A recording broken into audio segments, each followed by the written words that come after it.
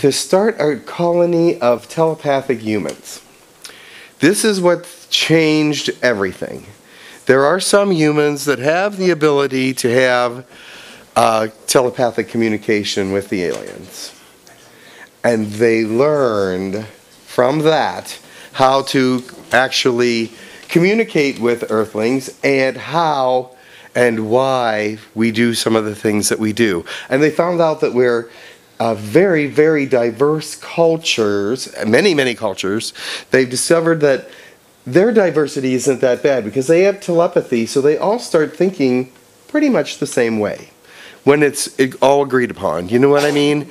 If you have telepathy and you can know somebody's intent and know somebody's conversation and and what they believe and everything, things become closer together. They start, you know, the belief systems are closer, the the social systems are closer. It just makes sense that their belief everything will be a little bit more the same. When they found out how diverse we were. I mean, every single person, there's not two people that actually think alike. I mean, you may have some similarities in your thought patterns, but when they actually started studying the thought patterns of humans, they're going, oh my. This one thinks this way, this one thinks this way, this is the base for that thought, this is the base for that thought in another person, and they don't jive, but they came up with the same answer.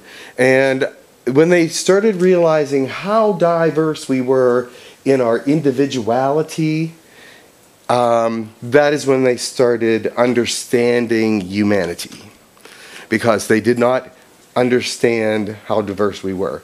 They didn't understand how one person could say the same thing as 14 other people and have 14 different meanings they are becoming more successful with communication now is because the thought patterns are being understood by those that are in the uh, telepathic colony, which is colony one, and they're they're learning from the telepaths how to communicate with Earth.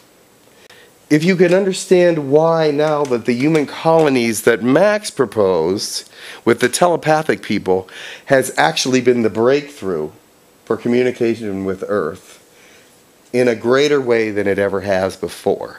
So now they have three colonies um, with diversely different thoughts. The third colony is an important one because that is where they're developing communication with Earth in the sense of videotapes, that kind of communication, YouTube kind of things, that they want to be able to communicate with Earth in the social media without causing excitement and craziness and all that stuff.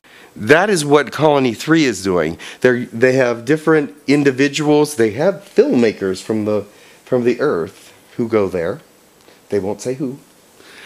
But they have also aliens that are interested in doing that as well. And they're coming together and they're recording hours and hours and hours a day. But they want to make sure that it's usable material. Yes? The colonies? Are in spaceships, and one is on another uh, planet, Era, that's in the Pleiadian system. Uh, the weather is being monitored by aliens because we're going through a very severe time in weather. You may not realize it, but if they would not be helping with the weather, the weather would be three times as bad as it is. They calm it down that much, and even still with that, it's still harsh. Um, Are they trying to keep us from annihilating each other? Yes, they're trying to keep. Well, this is the closest that any Earth civilization has been to to uh, becoming part of the galaxy. And we're entering a period of evolution for our species that will come within the next couple hundred years where a lot of people will become telepathic. I don't know if anybody knows about how telepathy starts. It starts with, you know, the energy chakras in your body. It starts with the center, the heart. So that is why we're at the beginning of that evolution of telepathy. This is the beginning of a new era for the world. It is. Because you all now can walk into a room and, and usually tell if somebody's good intentioned or bad intentioned. And you won't even have to look at their face. You don't have to look at their face. And sometimes the face is deceiving. Sometimes the face is deceiving. But that is where I'm saying telepathy is coming to us. It's going to take a couple hundred, 150, 200 years. But this, on 2012, that date, December 21st, 2012, was the beginning of what they called an ascension. Ascension of uh, our vibration as a human, as a co- community of people. You see, it starts as very small, but as it goes out, it gets bigger and bigger and bigger. And that's when it takes the people in. That light will bring it in. So, and a lot of you may have experienced that where you won't even have to mention something to someone and they'll already feel your vibration and say, So, how comes you're in such a good mood today? Or, How comes you're a little different today? Right? You, you experience that? That is your vibration going out. When you start giving that away, when you start giving that peace away, then that's enlightenment. Think about that. And th- those who can find joy, I think Buddha said, when you find joy, you are enlightened. And, it, and it's contagious, and it's good, and it's loving. And joy is just part of that, is part of the enlightenment. When you find your joy, your highest excitement in your world. And when you find that and it starts coming out of you, enlightenment, keep it. Keep it. Keep it. Because we're all a net of a vibrational net of light. And when that joy comes out, we knit ourselves together as a community. And then you net yourself together, and that's going to be part of the community of the world is the net of light that goes around it. And, and if you're in a community with a lot of people that are netted together as light, they bring you up if you're down. And you bring them up if they're down. What is the reason for the intercourse? Because we're closer to becoming part of a, a citizen of the galaxy than we ever been before. And so but what the uh, uh, say, and that's the alliance that they have with the five different species, there's five species in an alliance. What they say is that this timeline will not pass away. That? That was a while back. Um, they don't do that anymore at all. They've uh, they asked permission for to be for people to have a, to go with them, and they don't do any kind of experiments like that. What do you think is the relationship of ongoing uh, U.S. or earthly political structures with this intercourse? When they discuss first contact, that's when it's that's when that becomes important because they don't want to be threatening to the uh, to the world. They don't want to be seen as uh, coming to hurt anybody. Uh, and that's why they're going to use the internet and YouTube and things to prepare people ahead of time.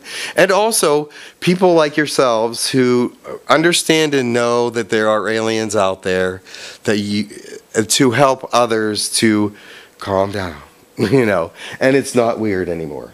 And their intent, from what I feel when they come through me, is their intent is to educate who is ever here how to grow their vibration and be a higher vibrational person. Like Lakesh, he's very popular. And Takur the Lyran, she's very, very uh, loving to humans. And Pentim, who's a Yahyel, and Sentiri, Sentia. Okay. Uh, you can see our videos on uh, humancolony.org. Color first first letter, human colony abbreviated to Hucolo. It's a unique word which we use now, and on YouTube it's very easy to find us. And another channel, uh, first is Hucolo TV, and second is Hucolo Chat. It's been a really amazing because our, I think our Hucolo, H U C O L O, is the only um, web channel that is actually birthing ch- channelers and birthing galactic languages. They even have galactic language, Jim. You go in there and speak your language and see if someone can understand what you're saying, and sometimes they can, and some sometimes it's just practice. Here now we have a whole n- group of people speaking galactic languages and uh, starting to channel. They're they're they're all over the place down there Yep. now. Uh, So- last three months it happened. Uh, initially, Jim spoke several languages. You heard Lyran language. Wuha is high. So Yeah. remember, Wuha is high. Mua or mua mua. It's goodbye. They, they say uh, that they speak this language for several years and they thought they go crazy and finally they find us and we can, you know, we, some of our people speak the same language and they can converse. And there were amazing webinars on, on record where nine people speak galactic languages together. They converse in those languages and some of them can translate. Jim translates Arcturian with, without being without channeling. I mean, through ch- when he channels, he can speak many languages, but even without channeling, he can translate some. Thank you very much. Thanks for coming. I appreciate it. Much love.